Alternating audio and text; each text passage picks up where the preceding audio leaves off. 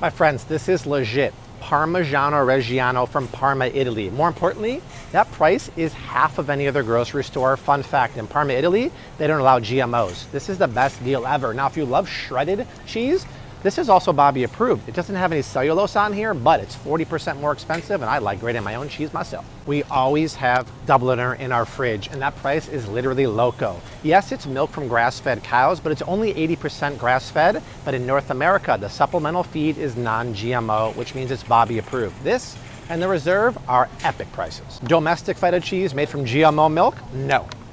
Feta cheese crumbles? Never. Why? because they're coated in cellulose, which makes them very cakey.